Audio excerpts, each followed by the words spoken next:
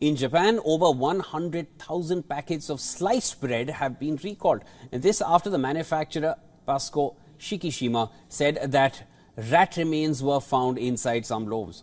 Well, the company is now investigating how parts of a small animal made their way into two inside two packets of sliced bread. The firm says no one has reported falling ill after consuming the bread and it has shared an apology as well. The film the firm pardon me says it will strengthen its quality management system to ensure that there won't be a recurrence.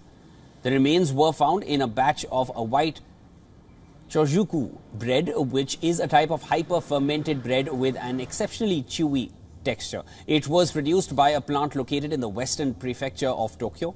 The factory in Tokyo has been suspended and a probe has also been ordered. Food recalls are rare in Japan, a country known for high standards of sanitation.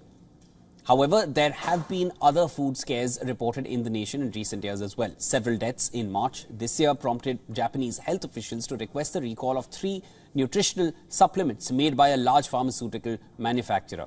Over a hundred others were hospitalized here. While another food supplier in August last year revealed that two cases of cockroaches were discovered in rice balls it supplied to a 7 Eleven convenience store in Tokyo.